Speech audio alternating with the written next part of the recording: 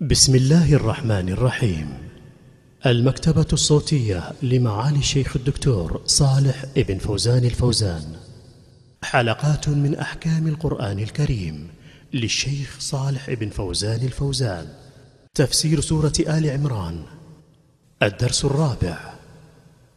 بسم الله الرحمن الرحيم. الحمد لله رب العالمين. صلى الله وسلم على عبده ورسوله نبينا محمد وعلى آله وأصحابه أجمعين وبعد. قد انتهى بنا الكلام على قوله تعالى ولقد صدقكم الله وعده إلى قوله حتى إذا إلى قوله وتنازعت ومنكم من يريد الدنيا ومنكم من يريد الآخرة وذلك أن أن بعض الذين كانوا على الجبل من الرماة لما رأوا أن إخوانهم جعلوا يجمعون الغنائم طمعوا فيها ونزلوا وتركوا مواقفهم. ومنكم من يريد الآخرة وهم الذين صبروا وثبتوا على الجبل. فهذا مع جملة ما حصل من الاختلاف ومن معصية أمر الرسول صلى الله عليه وسلم في البقاء على الجبل من أسباب الهزيمة. إرادة الإنسان أمر الدنيا وتغليب ذلك على إرادة الآخرة.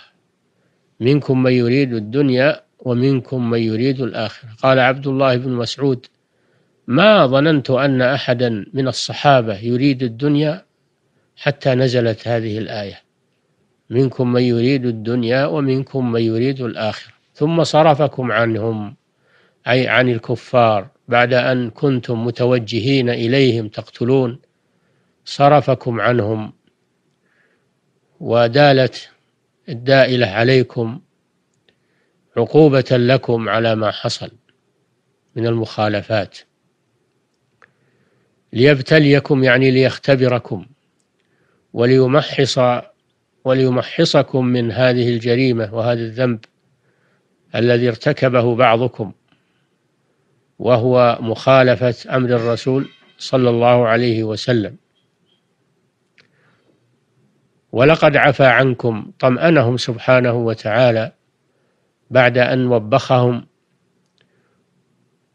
طمأنهم سبحانه وتعالى لأنه عفى عنهم لأنهم أصحاب سوابق في الخير وأصحاب فضل فالله جل وعلا عفى عما حصل منهم. وهذا يدل على فضل الصحابة رضي الله عنهم وأنهم وإن حصل من بعضهم خطأ فإنه له له من الفضائل والسوابق ما يغمر هذه آه هذه الزلة. كما قال النبي صلى الله عليه وسلم في أهل بدر إن الله اطلع عليهم فقال اعملوا ما شئتم فقد غفرت لكم. فالله جل وعلا عفى عن الصحابة فهذا فيه دليل على فضلهم وعلى أن خطأهم مغفور. ولقد عفى عنكم ثم صرفكم عنهم ليبتليكم. ولقد عفى عنكم والله ذو فضل على المؤمنين. عفوه سبحانه وتعالى ومغفرته وصفحه تفضل منه. سبحانه وتعالى وإلا فإن آه، الذنب والخطأ يستوجب العقوبة. ولكن الله سبحانه وتعالى عفو ذو فضل على المؤمنين. والله ذو فضل على المؤمنين. ثم قال سبحانه إذ تصعدون ولا تلوون على أحد.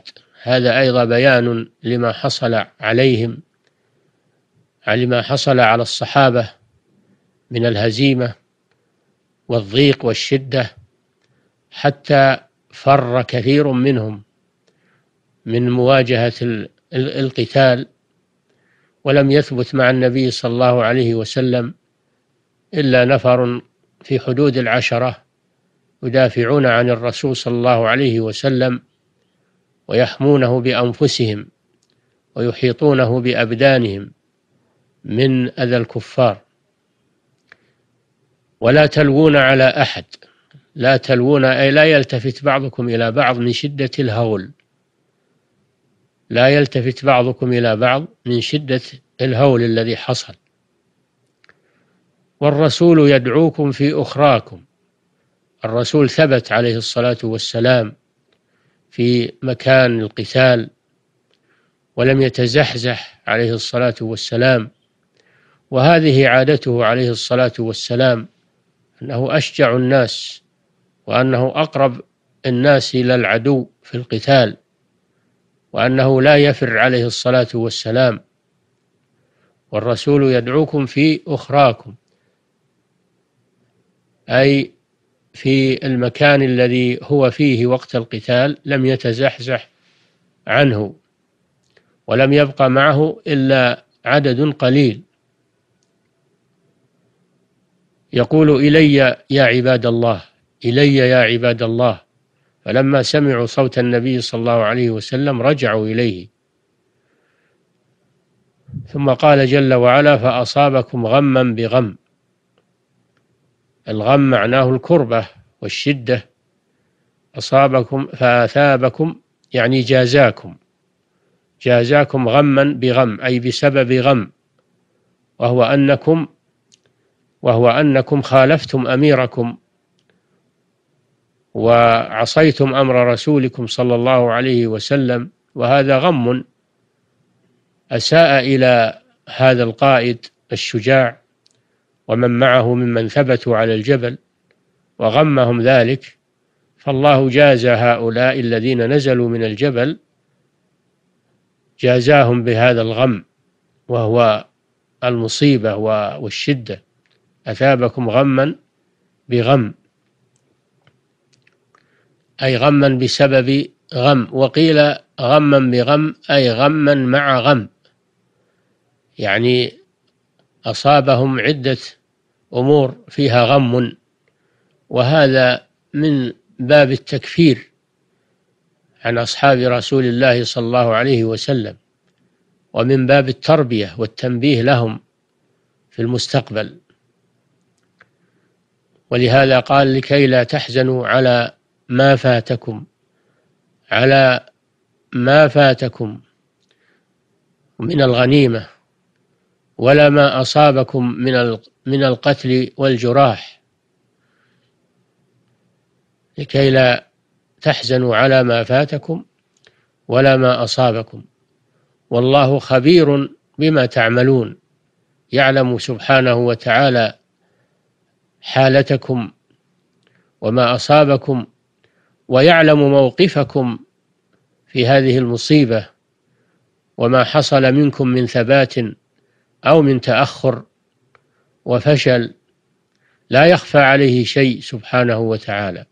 وإلى الحلقة القادمة بإذن الله. السلام عليكم ورحمة الله وبركاته.